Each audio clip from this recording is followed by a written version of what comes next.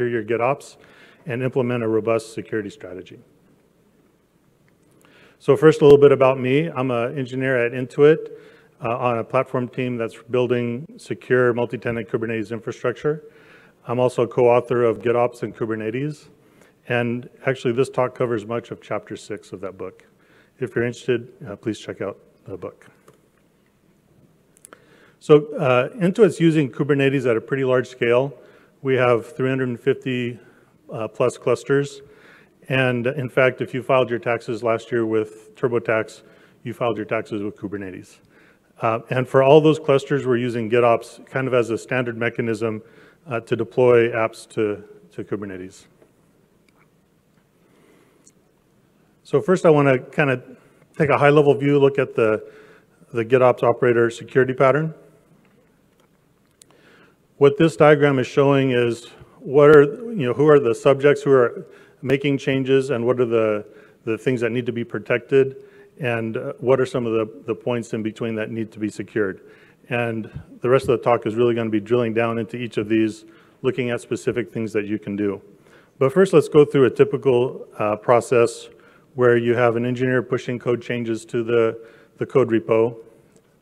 Uh, you would then have a CI pipeline that's watching that code repo and would check out the code, run the unit tests, run other kinds of scans, uh, depending on the, the CI pipeline uh, that's defined. And then ultimately it's going to push a new image to your image registry. Then you're going to update your Kubernetes deployment repo. This is your GitOps repo. And uh, you're going to update that either with the new image or maybe some other infrastructure changes to your application, some other uh, Kubernetes changes that you want to be pushed out. And then the operator is watching that deployment repo um, and, and any merges to master will be applied to your Kubernetes cluster.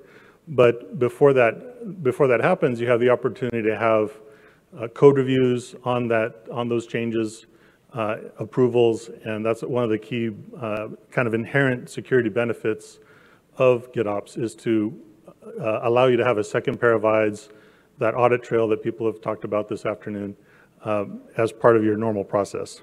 And so once that is approved and merged to master, then the GitOps operator can then deploy that out to your Kubernetes cluster.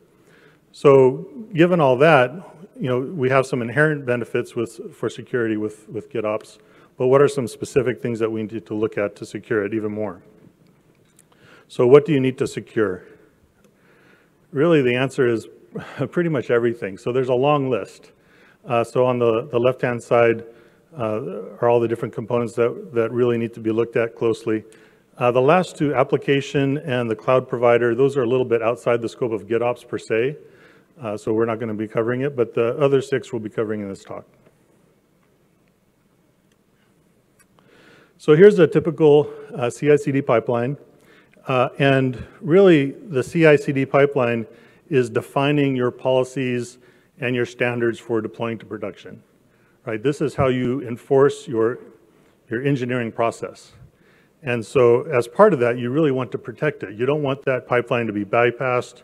You don't want it to be compromised.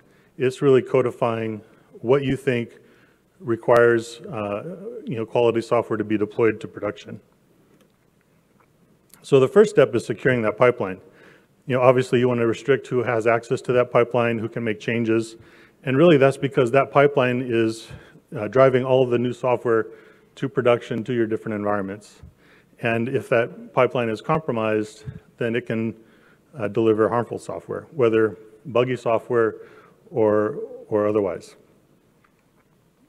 For your CI pipeline in particular, you don't want to use long-lived sort of machine user credentials uh, in the CI pipeline uh, for either the Kubernetes clusters or for the cloud providers. You want to use short-lived credentials. Next is the container registry. And most enterprises will use a private image registry to store their container images, uh, not only for security, but also for reliability, performance, and privacy if you're writing proprietary code, you don't really want to be pushing that to, you know, Docker Hub or something like that. Um, so uh, at least at Intuit, we have our own uh, private image registry. And once you start managing your own private image, uh, excuse me, private image registry, you can have some more configuration and control over that registry. Uh, and one thing is you'd want to make it so that image tags are immutable. You don't want to change the meaning of an image tag once it's set. Uh, if you've deployed an image to production, you don't want that image tag to be changed out from underneath that running system. You also want to use uh, tools like Twistlock, uh, Prisma Cloud to scan those images for vulnerabilities. And we'll come back a little bit in a couple slides to talk more about the, the container registry. Next is securing the Git repository itself. So the, the Git commit log and the revision history of your GitOps deployment uh, repository is the audit log. You know, it tells you everything that's going on, everything that's being deployed to your Kubernetes cluster. Uh, and so you know, it tells you what changes were made, when they were made, by whom, and hopefully if you have a descriptive commit uh, message, it'll tell you why, right? Um, and so you really want to use pull requests and code reviews for all the changes to the deployment repo so that you have a good auditability, the ability to roll back, and you know exactly what's going into your cluster. It's also desirable to use multiple deployment repos for each team or application.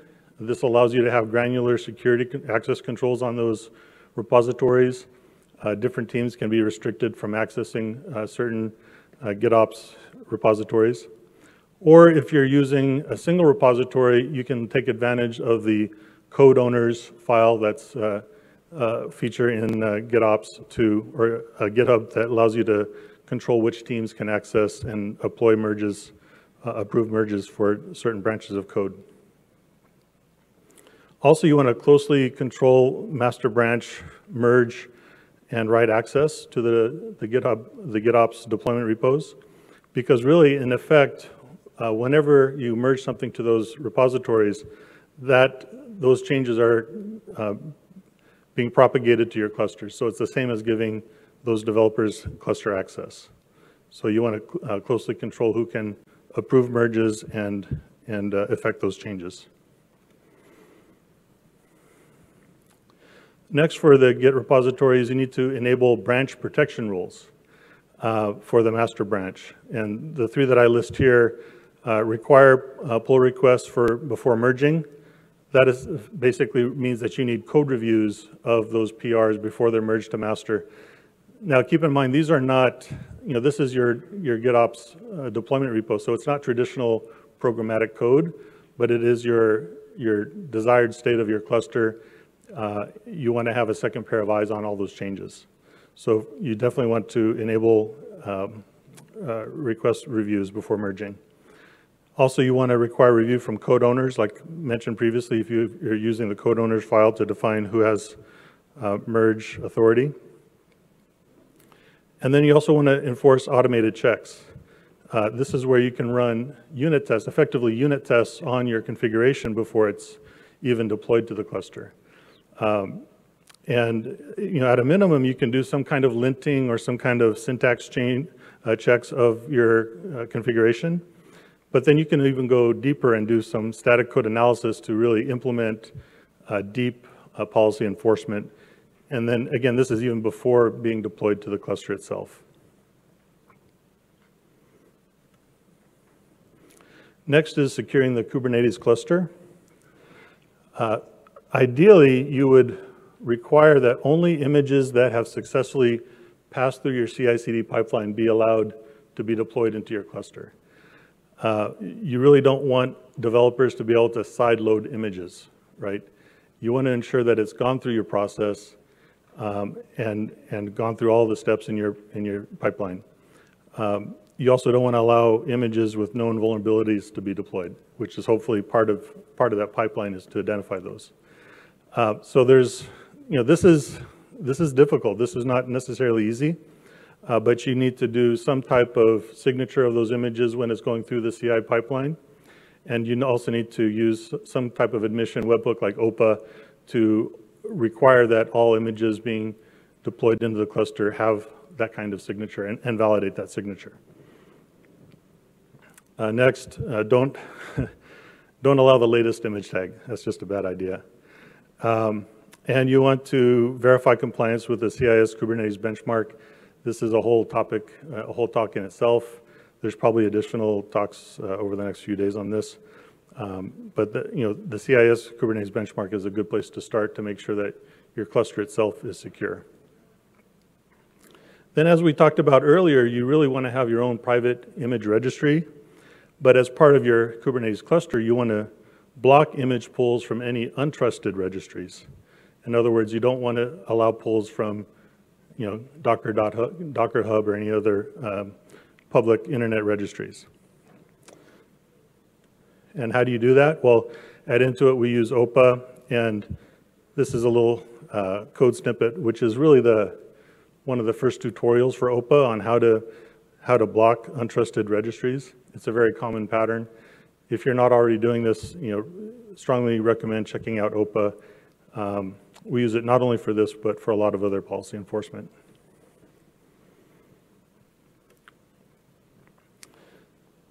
Next is you need to secure your secrets. You know, as was just mentioned in the previous talk, uh, you can't just commit sensitive information to Git, right? That's a bad idea. Um, Kubernetes secrets are not encrypted, right? You need to think of some other solution for doing that. You also don't want to bake sensitive information into the container images themselves. You might think, okay, maybe that's a different way we could do it, but that's also problematic. So it really comes down to three different ways you could do this. Uh, one is you could use an out-of-band process, you know, in other words, not GitOps, for deploying the secrets to a cluster. Uh, so you would maybe use GitOps for all your other deployments and you know everything else, but then secrets uh, may need to be manually provisioned. But that's kind of a pain and doesn't really follow the whole benefits of GitOps that we're trying to achieve in the first place. So the next one is perhaps you could store encrypted secrets in Git. So if you encrypt the secret and then commit it to Git, then that's, that's okay. But then how do you get the key to unencrypt it, right? So there's always some secret that you need at some point. Um, but luckily there's some patterns that allow you to do that. Uh, so sealed secrets is one, you know, there's other uh, approaches that allow you to do that as well. The last is to use some type of external secret management system. Um, this is where the application containers retrieve the secrets at runtime. And example of this is Vault, and also at Intuit, we have our own proprietary system that does this.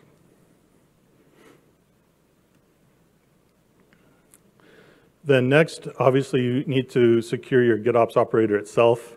And how you do this might depend a little bit on which operator you're using, whether it's Argo CD or Flux.